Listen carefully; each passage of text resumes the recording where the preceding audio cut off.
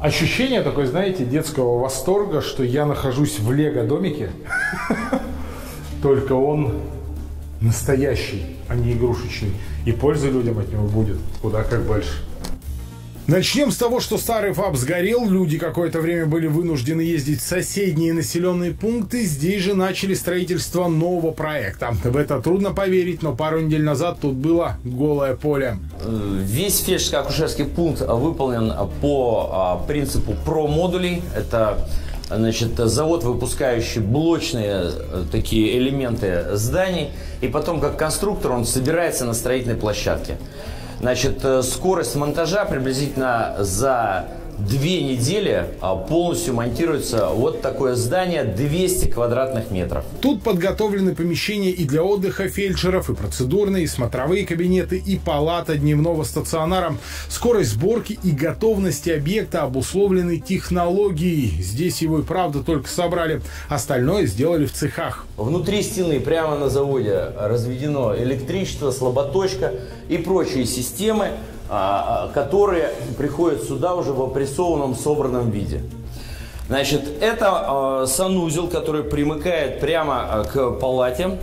Значит, санузел тоже заводской сборки. Прямо на заводе здесь наклеивается плитка. Значит, заводское ОТК следит за качеством швов, за качеством каждой производимой работы.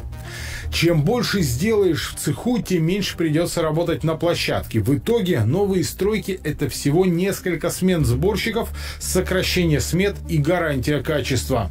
Когда мы работаем в построечных условиях, особенно на больших удалениях от городов, от трасс, то э, затрат гораздо больше. На заводе это делать выгоднее, быстрее, и завод дает штамп ОТК, контроль качества по гидравлике, по пневматике, по другим всем характеристикам здания. Оценил новый тип быстро возводимых зданий и губернатор Московской области. Вот мы четко видим, как он будет выглядеть. То есть здесь, где мы стоим, будет еще входная группа. Бетон будет покрашен весь и полностью восстановлен. Но это все делается валиком, это 5 секунд. 5 секунд, да. Мы Через 10-12 суток, Андрей Юрьевич, закончим. Уже? Да. У нас дольше благоустройство будет делаться, чем собираться там весь сам фаб. Что до врачей, то медики, которым в будущем тут работать, радость скрыть и не пытаются. В каком мы работали ФАПе и какой сейчас, даже лучше, чем предыдущие ФАПы. У нас тоже подрядниковый ФАП, но не такое. Здесь это шикарно. Это прям вот клиника целая московская. Я думаю, что все специалисты будут сюда ездить. В планах запустить ФАП уже 1 октября, так что о долгих поездках местным жителям вскоре можно будет забыть.